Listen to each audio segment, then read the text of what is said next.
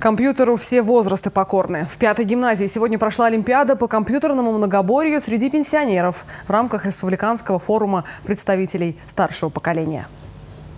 В 2007 году Чувашское региональное отделение Союза пенсионеров одним из первых в России организовало бесплатное обучение пенсионеров основам компьютерной грамотности. Сегодня форум уже в третий раз собрал желающих посоревноваться в компьютерных навыках. Очень активно участвуют представители всех районов и городов. И очень такое активное представительство. И самое интересное, очень хорошее настроение.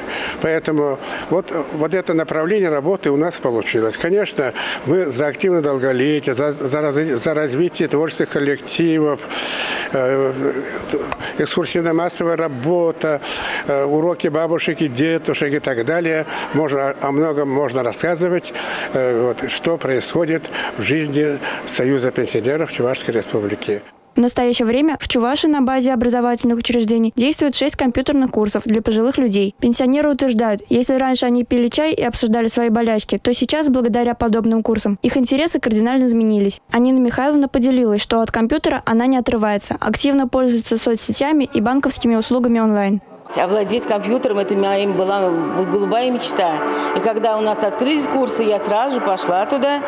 А потом мне нужно было устраиваться на работу туда, в администрацию, а без знаний компьютера невозможно. Сейчас же везде, везде компьютер.